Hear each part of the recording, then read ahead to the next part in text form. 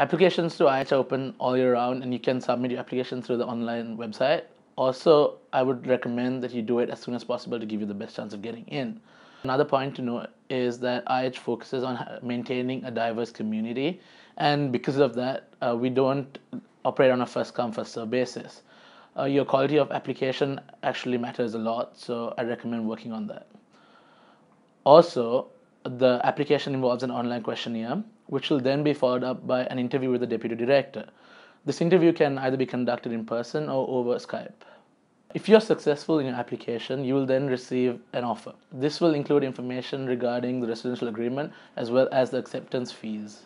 If there's one piece of advice I give you in applying to IH is do your research before you apply. Uh, do your research into the events we run, the history of the house and the mission of the house, because there's a lot in there which people don't foresee and it could be really important in your application process and when you move in here if you do get in. Like for example when i applied i did my research and when i had my interview with the deputy director it, actually came up about events i actually are excited for at, at the house. And it really i feel like it helped me stand out and i am here today so i'm pretty sure it helped me get through the application process